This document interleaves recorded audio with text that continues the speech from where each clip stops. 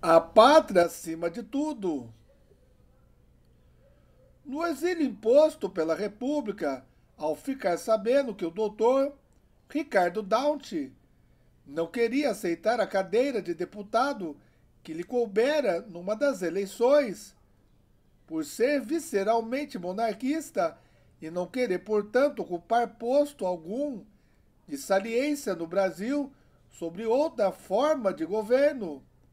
A princesa Isabel, já chefe da Casa Imperial e imperatriz de júri do Brasil, disse a irmã do eleito: Diga ao seu irmão que ele deve aceitar a cadeira de deputado e propugnar pela grandeza moral, econômica e intelectual de nossa pátria. Não aceitando, ele estará procedendo de maneira contrária aos interesses da coletividade. De homens como ele é que o Brasil precisa para ascender mais, para fortalecer-se mais.